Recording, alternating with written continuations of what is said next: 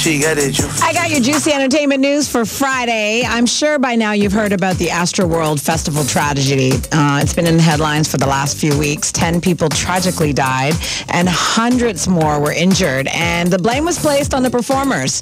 Well, now a $2 billion lawsuit against Travis Scott, Drake, Apple Music, Live Nation, and NRG Stadium has been filed on behalf of 282 victims. Now, the suit claims that the defendants stood to make an exorbitant amount of money off this event, and they still chose to cut corners, cut costs, and put attendees at risk. The victims want to ensure that the defendants are held responsible for their actions, and they want to send a message to all performers, event organizers, and promoters that what happened at Astroworld cannot happen again. Now, this is just one of the many lawsuits that have been filed. Another one was filed on Tuesday on behalf of more than 120 victims, including Axel Acosta, who died at the festival.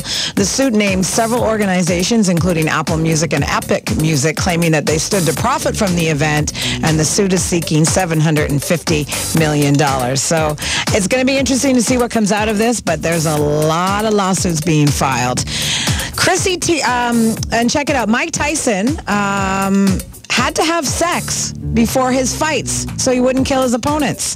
Yes, this is the latest juice coming out from his former bodyguard and chauffeur, Rudy Gonzalez, who spilled the beans on Tyson's secret um, in an interview to mark Mike's 35th anniversary of becoming the youngest boxer ever to win a heavyweight title. 20-year-old Mike Tyson destroyed Trevor Berbick in round two to make history in the title fight on November 22nd in 1986. Now, Rudy worked for Mike back then and said one of the greatest secrets with Mike was that he needed to have sex in the dressing room right before the fight.